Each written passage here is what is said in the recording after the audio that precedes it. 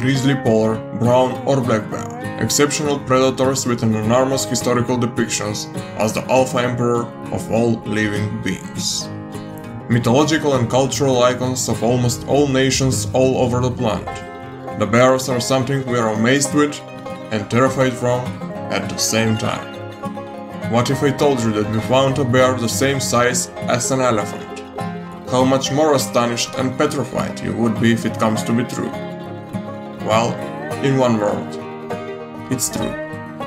Today we are talking about the biggest bear that has ever lived. South American giant, short-faced bear, Arctotherium angustidens.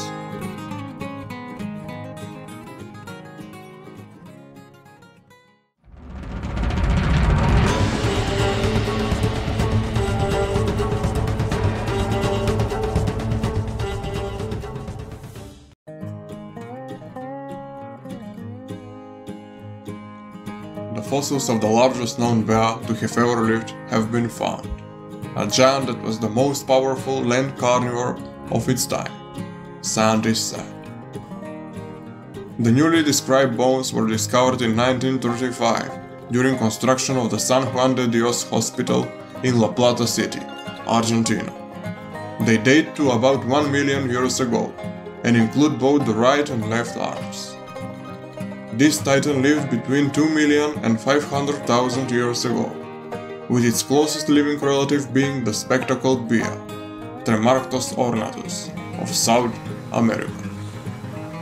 According to researcher Leopoldo Soibelzon, a paleontologist at the La Plata Museum, based on measurements of the fossil's leg bones and equations used to estimate body mass, the bear would have stood at least 11 feet tall, 3.3 meters, on its hind legs, and would have weighed between up to 3,500 pounds.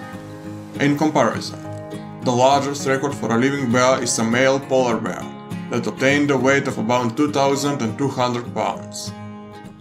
Not just bigger, quite a big gigantic. The scientist also suggested the reason why this species might have grown so huge. When bears arrived in South America after the land bridge between the Americas appeared about 2.6 million years ago, there were relatively few other big predators there at the same time, with the exception of the saber-toothed cat. In South America, researchers suspect a glut in prey and a lack of competition combined to make the bear king of the continent. But as more meat-eaters evolved, short-faced bears adapted, becoming smaller and more omnivorous, like the modern-day black bear. In North America, the short-faced bear's increasing size may have offered an advantage. Its sheer heft may have scared off saber-toothed cats and other predators from their kills. By these numbers, it would have been the largest and most powerful meat-eater on land at the time, scientists say. However, Arctotherium angustidens was not a hyper-carnivorous monster that fed exclusively on giant sloths and other large mammals. True, it was big enough to take down large prey and run the saber cat's Smilodon off a meal, just as Yellowstone's grizzly bears still kill us from wolves today. But it probably had a mixed diet and included some salad with its steak. The dietary flexibility of this gigantic South American bear makes its disappearance around 800,000 years ago all the more perplexing.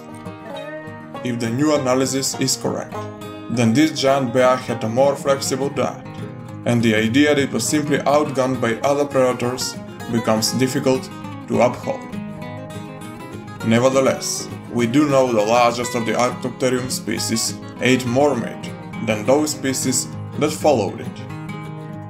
The last remaining short-faced bear, the Andean spectacled bear, is more herbivorous than most other bears. Normally about 5 to 7% of their diet is meat. Sometimes even the apex predators turn over a new leaf.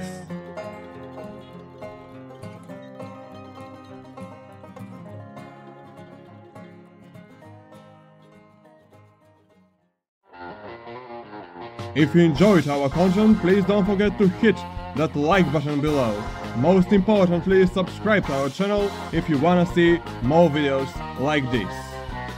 Comment below to share your thoughts so you may suggest us any topic you want us to explore and present to our audience. We are uploading daily videos about amazing facts, mysteries and stories you have never heard before.